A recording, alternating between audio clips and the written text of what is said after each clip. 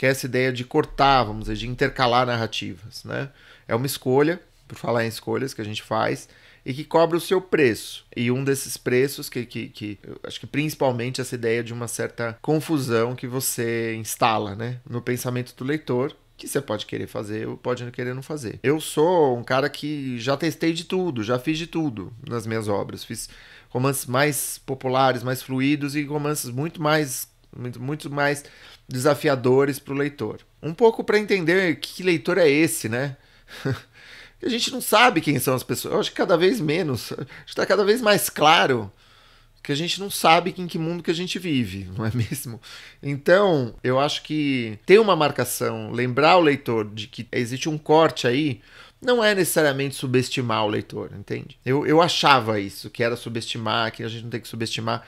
Mas eu acho que é, se a gente puder.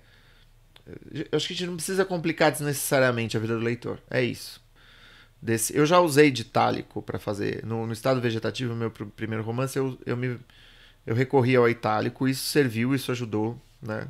É um livro muito. Ninguém tem dificuldade para ler esse livro. Né? Agora, o Dionísio em Berlim, que tem muitas vozes, muito, muitos personagens, tem um personagem que tem vários nomes. Isso gerou, sim, muito. É muito desafiador para o leitor. Né? Pode parecer, nossa, não, mas isso é um detalhe. Mas enfim, para o leitor não é um detalhe. Né? Mas o que eu tenho visto muitas vezes é, vamos dizer, a instauração de uma confusão desnecessária.